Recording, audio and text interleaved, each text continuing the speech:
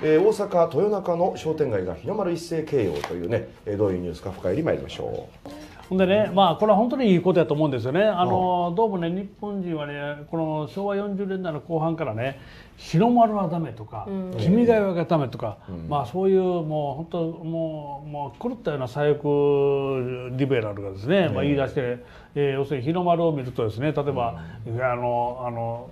戦争時代を思い出すとかね例えば「君が代」を聞くと軍歌の音が聞こえるとかね、はい、えー、お前いくつや前世の記憶とかあんのかって話ですね。はい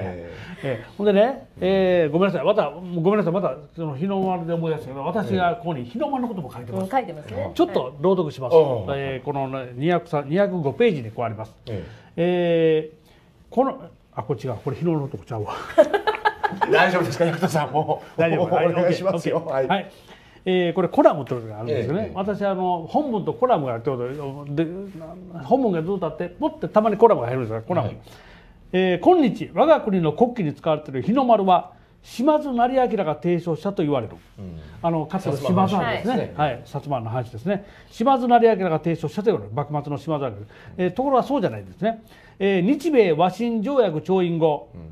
日本の船を外国船と区別するために船舶機が必要となった、えー、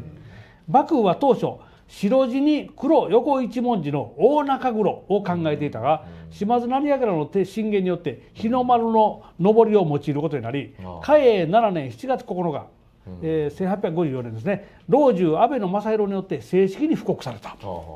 で正しい文字です島津成明は鹿児島城から見た桜島から昇る太陽の美しさに、これを国旗にしたいと家臣に言ったという、それを受けて薩摩藩が建造した初めての洋式軍艦昌平丸を幕府に献上する際の航海でこれを掲げた、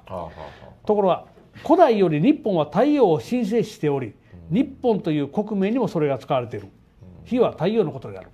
えー、日輪のマークは天下統一の象徴であり源平合戦の折も兵士は赤字金丸源氏は白地赤丸を使用した。白地赤丸ってこれは日の丸なんですよ源氏はね。えー、それ以降白地赤丸の日の丸が天下統一を成し遂げたものの象徴として受け継がれていったと言われている。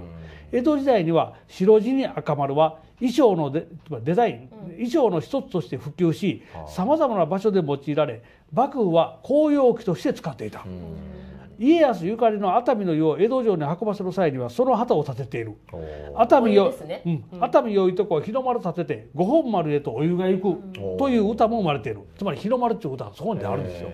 熱海よいとこ日の丸立てて五本丸へとお湯が行くという歌も生まれている。それ以外にも幕府が所有する船に日の丸が書かれていたケースは枚挙にともがない。つまり日の丸は正式に国旗として認められる以前に1,000年以上も前から日本という国を象徴する旗として使われていたのだ、現代の一部の人々は軍国主義の象徴であるという理由で日の丸を嫌悪するが根拠不明の言いがかりである、